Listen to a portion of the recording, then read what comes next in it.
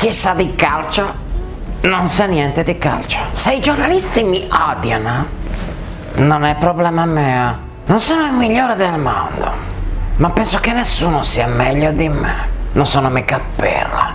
Parole e musica di José Mourinho. Siamo negli anni 60, i favolosi anni 60. Il piccolo José prendeva il pallone per divertimento lo bucava perché i suoi amichetti dovevano imparare tre cose.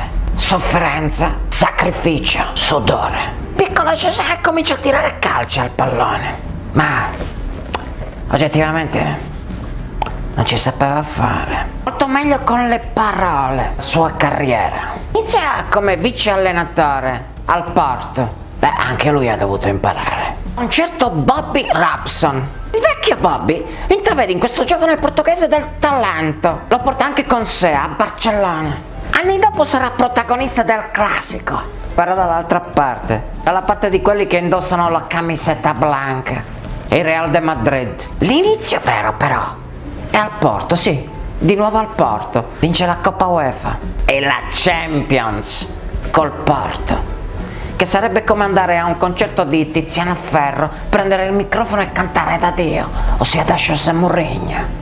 È la vera svolta della carriera. Va al Chelsea di Roman Abramovic, vince due campionati, una Supercoppa, una FA Cup. Cose ormai normali. Va all'Inter. Tutti ci ricordiamo il triplete. Se lo ricordano bene gli interisti. Ma passiamo ai giorni nostri. Anche perché a raccontare la carriera di questo straordinario allenatore facciamo notte. Giorni nostri hanno il nome di una città, Roma. Ormai la Roma è allo sbando. Ha perso malamente in Coppa dei Campioni, umiliata. I giocatori fanno quel che vogliono. C'è molta depressione nell'ambiente. Tanto che è già stato scelto il sostituto, Maurizio Sarri. Sì, questo per i giornalisti però. Invece ieri, come un fulmine a ciel sereno, come un mignolo in uno spigolo, come uno shock because, l'annuncio José Mourinho è il prossimo allenatore della Roma.